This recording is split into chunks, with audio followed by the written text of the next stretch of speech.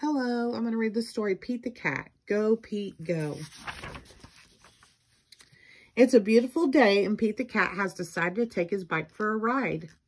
Nothing makes Pete happier than feeling the sun on his fur and the breeze on his face.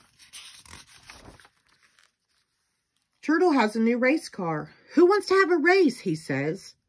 Not me, says Grumpy Toad. My motorcycle has a flat tire. Not me, says Emma. My car is too old and slow. Not me, says Callie. My bus is a work of art. It's not meant for racing. I'll race you, says Pete, knowing how much Turtle likes to race. But your bike has no motor, says Turtle. My race car is super quick. I'll win for sure. That's okay, says Pete. I just want to try my best and have fun. Everyone is excited for the big race. On your mark, get set, go, Callie shouts. Turtle steps on the gas pedal and vroom, zooms away. Pete waves goodbye and then pedals off. Pete sees Turtle up ahead. Turtle slows down to let Pete catch up. Check this out, shouts Turtle.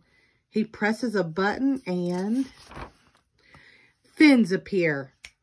Now Turtle's car, race car, goes even faster. Pete's bike doesn't have fins, but he does have a basket. He stops and takes out a tasty red apple. Nothing is better than a tasty red apple on a beautiful day. Turtle sees Pete is way behind. He spies a diner up ahead. Might as well grab a bite to eat, Turtle says, as he pulls into a parking spot. Yum, says Turtle, eating a grilled cheese sandwich. He is in no rush. He is sure he will win the race. Dessert? The waitress asks. Don't mind if I do, Turtle says. While Turtle finishes lunch, Pete continues pedaling. The sun is high and the breeze is blowing. It's a beautiful day for a race. Pete sees Turtle leaving the diner. Pete waves hello, but Turtle doesn't wave back. Turtle just jumps in his car and peels off. I guess he didn't see me, Pete shrugs. But Turtle did see Pete. He knows that Pete isn't going to give up easily. So Turtle presses a button and his tires inflate into mag wheels that let him swerve around the curves as top speed. Pete passes a rose bush as he goes around a curve.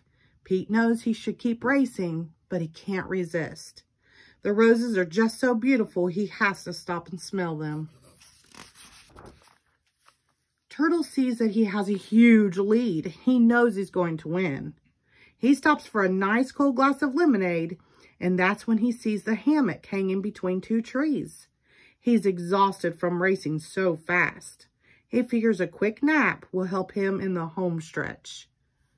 Pete pedals past and sees Turtle sleeping. That's cool, Pete thinks as he rides by quietly as he can. Turtle must be really tired. I'm glad he's getting some rest. Grumpy Toad finds Turtle fast asleep. Wake up, Turtle, says Grumpy Toad. If you don't get back in the race, Pete is going to win. That's impossible, says Turtle, thinking it must be a joke, but it's no joke. Turtle presses a button and rocket boosters appear, making him go super duper fast. But by the time Turtle nears the finish line, Pete has already won the race. How did you do it, Turtle asks. Slow and steady, says Pete. Maybe next time, instead of racing, we can ride together. Great idea, Turtle says. The end. Thank you.